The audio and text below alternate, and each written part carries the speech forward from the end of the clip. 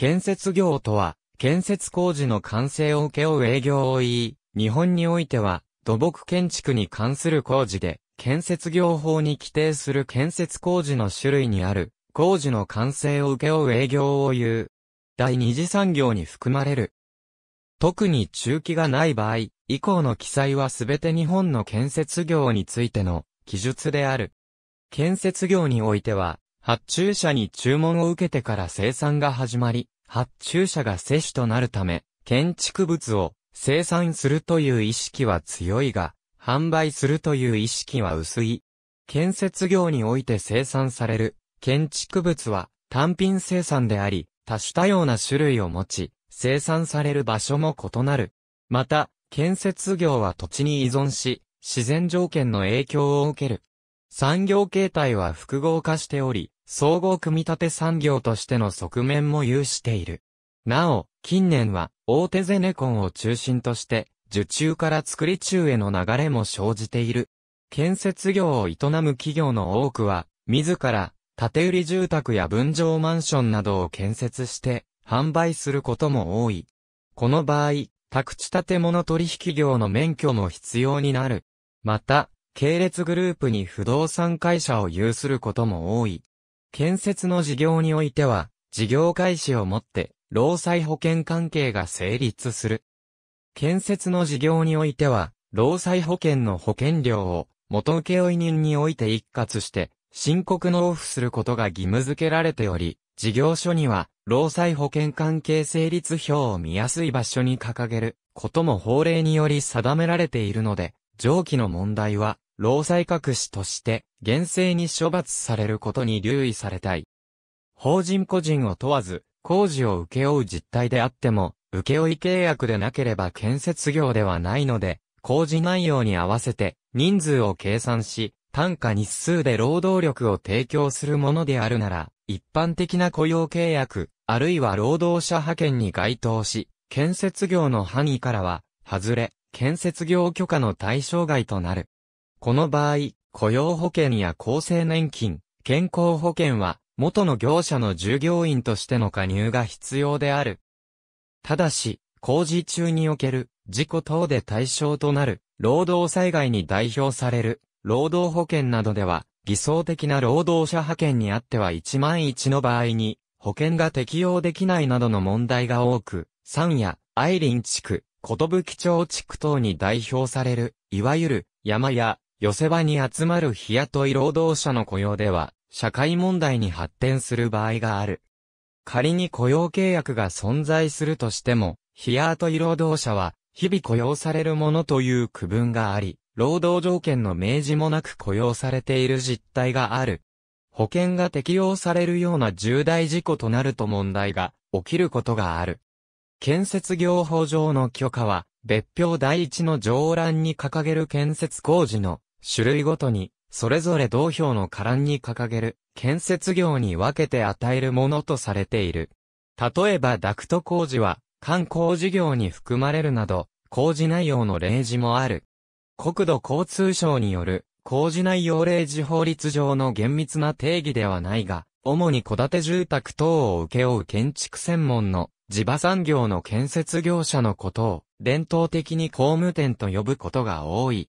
工務店は個人やメーカー等から戸建て住宅を請け負い、専門工事業者の手配、管理その他工事全体を監督する役割を担う。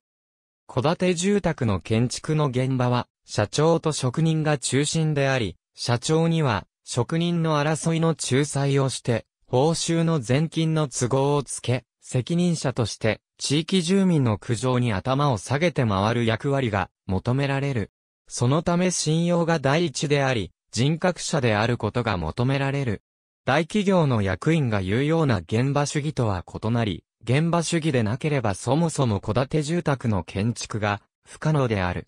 そのため、社長の目が届く範囲での規模の方がうまくいくことが多く、そのような形態の建設業者を工務店と呼び称するのである。建築士の場合で、必要に応じその都度工事現場に行って、職人の指導から工事監督をも行うが、直接工事を実施しないもの、また建築士事務所が設計管理で、工務店は工事管理と役割が分担するものもある。だが、その逆に、大工が経営する形態も多く存在する。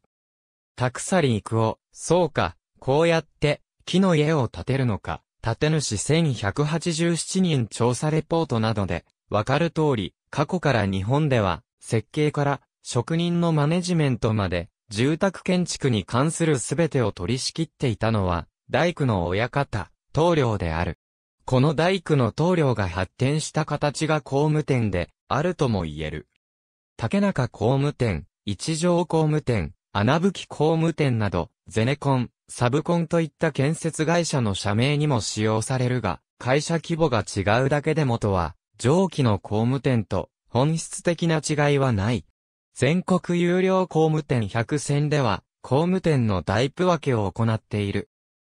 これによると、従来型の棟梁型店、社内に建築士を抱えデザインで他社との差別化を図っている店、外部の建築家の設計による施工だけを行う店、ハウスメーカーの下請けや、特定広報のフランチャイズ業務が中心の店、特定の建材、設備などを使った住宅を商品化、シリーズ化して、販売型の店、自社土地購入で、建売住宅や売建住宅販売を展開する、店などが見られるという。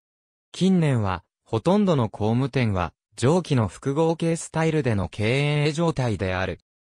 またその影響やニーズから現在では、工務店といっても様々なタイプがある。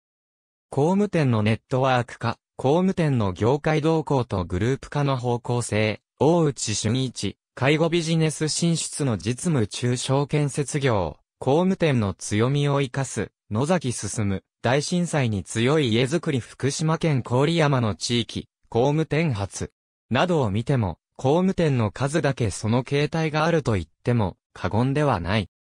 東京で家を建てる2006か東京都の工務店、ハウスメーカー、建築事務所、情報42、インタビュー被災地の再生が工務店の使命を見るとおり、工務店は地域密着で営業していることが多く融通が利き、アフターケアもきめ細かく受けられる利点があると言える。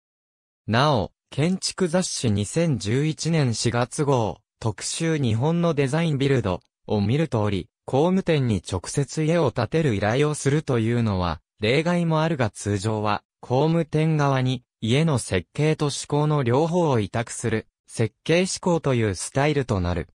建設業法医ガブ法令検索許可を取ることで、毎年の決算の届け出等が義務付けられる一方、法違反とならないこと、社会的信用が増すこと、経営事項審査を受け公共工事に参加できることなどのメリットがある。建設業許可は5年更新制であり、有効期間が満了する前に、更新の許可申請をする必要がある。直前の決算等において、許可要件を満たしていないと、許可は下りない。許可期限前に更新申請すれば、許可が下りる下りないの判断があるまでは、従前の許可番号で営業ができる。許可の区分従って、許可区分は、大臣特定、知事特定、大臣一般、知事一般の4種類となる。一つの業者が、大臣と、知事もしくは、複数の、知事許可を同時に、または、ある業種の許可を、一般と特定を同時に取得することはない。ただし、業種が違えば、ある業種は特定、別の業種は一般で許可を取る場合はある。許可年度を加えて、特定建設業建築工事業国土、交通大臣許可第号などと表記される。これを明示した許可表を営業所及び工事現場の見やすい場所に掲げなければならない。この許可表を通称、金看板と呼ぶ。許可年度が5年以上前の広告や許可表を散見するが、この場合、更新したのか確認することも重要である。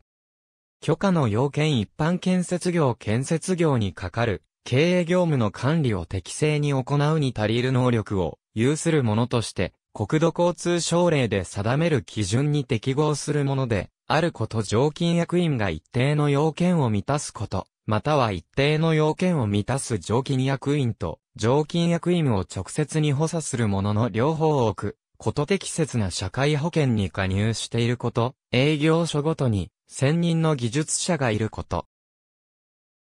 建設工事の請負契約に関して誠実性のあること財産的基礎、金銭的信用のあること許可を受けようとする者が、一定の結核要件に該当しないことこのうち、1.1、常勤役員及び補佐者、2、専任技術者に関しては、名義狩りでなく、常勤の社員、役員や事業主であることが必須であり、これらの資格者なしに許可を取ることはできない。許可取得、更新時だけでなく継続して必要であり、退職したり資格を失ったりした場合は、有資格者を補充するか、さもなくば建設業を廃業するしかない。1.2、社会保険に関しては、以下の要件が定められている。特定建設業指定建設業、ABCD 長と登る1997、国土交通省。許可基準の見直しについて、2021年1月21日閲覧。ありがとうございます。